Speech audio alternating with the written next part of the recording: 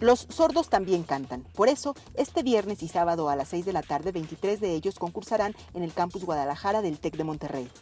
Ahorita estamos viendo eh, los ensayos del primer festival de la canción en lengua de señas. El fin de este es dar a conocer la cultura de los sordos y sobre todo también eh, saber que los sordos expresan a través de, las manos sus canciones y a través de los bailes y las expresiones.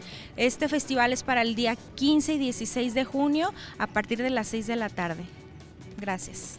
La actividad fue organizada por Educación Incluyente AC. El mejor cantante con señas ganará 10 mil pesos.